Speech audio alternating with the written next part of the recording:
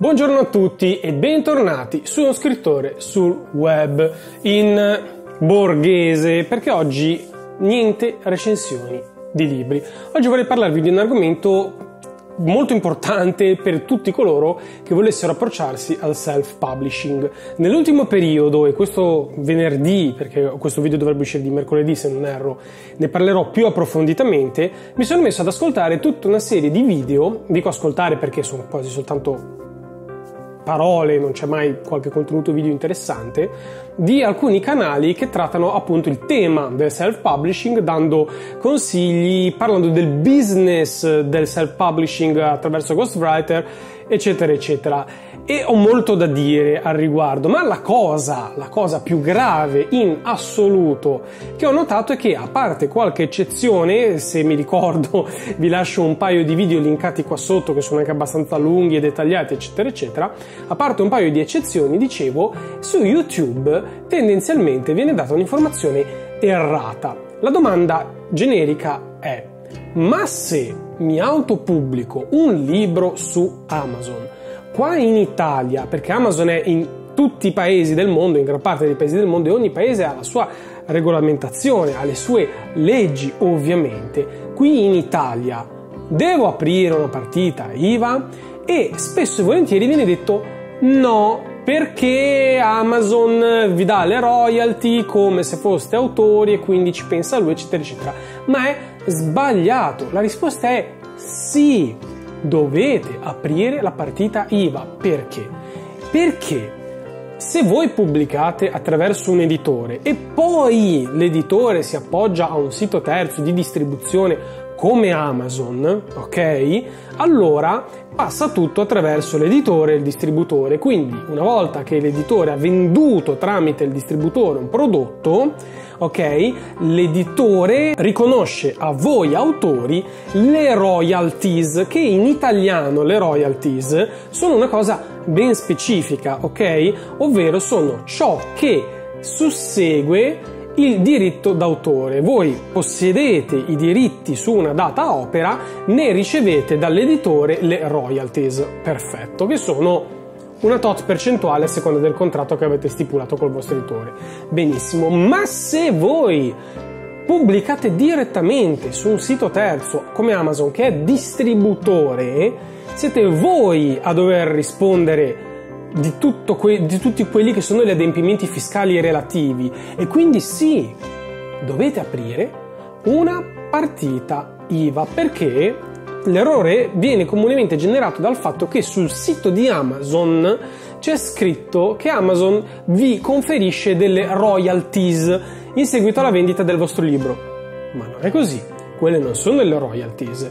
Quello è tutto il prezzo esclusa la parte di Amazon, perché Amazon è un distributore, quindi siete voi editori di voi stessi, siete voi gli imprenditori, d'accordo? Questo è un problema eh, di traduzione forse o di uso confuso dei termini da parte di un sito che tutto sommato comunque non è italiano come Amazon, che ha sicuramente un distaccamento italiano, una succursale italiana, tutto quello che volete, ma è un errore. Quelle non sono le royalties, le royalties sono incluse nella parte che vi dà Amazon, ma voi dovete pagarci le tasse, avete bisogno di aprire una partita IVA. Quindi questa è una cosa. Tra l'altro, parentesi, mi viene da chiedermi tutte queste persone che diffondono queste informazioni, che a loro volta pubblicano seguendo questa linea, sono tutte fuori legge sono tutte fuori legge perché non hanno mai pagato le tasse in maniera corretta. Hanno pagato le tasse sulle royalties a fine anno che, se non sbaglio, perché adesso io non sono né un commercialista né un avvocato ovviamente, sono un forfait su quella cifra che pagate con la dichiarazione dei redditi eccetera eccetera. Se invece voi andate appunto a prendere il contratto di Amazon che è lungo, che nessuno legge, è più chiaro. È logico che se voi andaste da un commercialista o da un avvocato a informarvi in merito, e ci sono anche commercialisti e avvocati che hanno dato questa informazione errata e non dovete dirgli su Amazon c'è scritto royalties bla bla bla bla, gli date il contratto, lo leggono ed è più comprensibile. Rimane il fatto, rimane il fatto che sia torbida la cosa, è una zona grigia, nel senso che non è chiarissimo. Però di base molti hanno risolto la questione dicendo che sì, effettivamente sarebbe meglio aprire la partita IVA. E ricordatevi che la partita IVA va aperta prima di cominciare a vendere il libro, non dopo, non c'è nessun limite dei 5.000 euro minimi, niente di niente, voi aprite la partita IVA e poi vendete su Amazon. Adesso, il problema è Aprire una partita IVA è una rottura di palle pazzesca, è una cosa problematica, non lo voglio fare, eccetera, eccetera. Come faccio, come faccio, come faccio? C'è una soluzione c'è una soluzione, una soluzione in cui io sono incappato del tutto casualmente attraverso la mia esperienza di autopubblicazione, perché nel momento in cui ho avuto la scelta se pubblicare eh, direttamente tramite Amazon o tramite il mio libro, tramite You Can Print o tramite il servizio di Lulu e tutto quello che volete, che però sono uno è un print on demand e l'altro è print on sale, che sono due cose un pochino diverse, ma comunque non è questo l'argomento del, del video ho scoperto che pubblicando tramite il mio libro, che è dove io ho pubblicato il mio romanzo, dove adesso tra l'altro pubblicherò la riedizione riveduta e corretta, eh, dopo aver fatto la prima esperienza del romanzo e ne pubblicherò un secondo, pubblicando tramite il mio libro esiste la possibilità eh, oltre al circuito su il mio libro, appunto il, suo, il loro sito internet, di pubblicare sulla feltrinelli.it, eh, su IBS e poi volendo anche su Amazon. Ma, e qui sta il trucco, che non è un trucco, qui sta la risoluzione del problema. Il mio libro fa parte di un gruppo editoriale. È un gruppo editoriale che stampa il vostro libro che voi andate a mettere sul loro sito. Se voi vi avvalete del loro servizio e andate a pubblicare il vostro libro sia su delle catene italiane, che comunque noi siamo in Italia e non è male come cosa, sia da un punto di vista di sostenere l'editoria italiana, sia da un punto di vista di ci sono persone che comunque acquistano tramite il mio libro piuttosto che tramite IBS, piuttosto che tramite la Feltrinelli o vanno alla Feltrinelli e ordinano un libro che non è presente sugli scaffali. E già questa è una cosa, ma volendo pubblicare appunto su Amazon, passate attraverso una casa editrice. Passate attraverso una casa editrice, quindi il famoso ponte tra l'autore e il distributore Amazon, che è la casa editrice di mezzo che assolve agli, ad- agli adempimenti fiscali, viene creato. Quindi il mio consiglio spassionato è uno, state attenti di chi vi fidate. Io stesso ve lo dico, metto le mani avanti, io non sono un avvocato, non sono un commercialista, non sono un esperto ma grazie a Dio penso di non essere un totale idiota, so leggere, so ascoltare, so estrapolare delle informazioni, quindi questo è ciò a cui sono giunto. Non credetemi? Stampate il contratto di Amazon, portatelo al vostro commercialista o al vostro avvocato e fateglielo leggere e vedrete che cosa vi dice. E io una vaga idea su quello che potrebbe dirvi ce l'ho. Guardate i minuti scorsi del mio video e saprete più o meno che cosa vi potrebbe dire. Ci ho detto, vi fornisco anche la soluzione. Pubblicate sul mio libro pubblicare su ilmiolibro.it che non mi sponsorizza, magari fosse vero che mi sponsorizza, eh, sarebbe veramente bello avere una sponsorizzazione per queste cose, però mm, ve lo dico così anche perché ragazzi, io sono uno che fa recensioni di libri. ok? non ho nessun sito dove vi rivelo i grandi segreti, eh, dove vendo corsi, né nulla del genere. Non ho nessun interesse, ok? Nessun secondo fine. Ve lo dico in maniera così amichevole. Io ho fatto sta cosa, ho scoperto questa cosa, guardate che c'è questo problema, questa è la soluzione.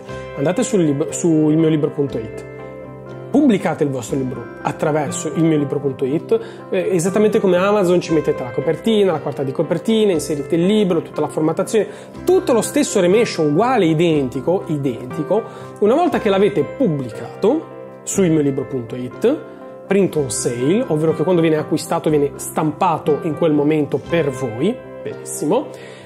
Usate il pacchetto di ilmiolibro.it che costa meno di 100 euro, eh?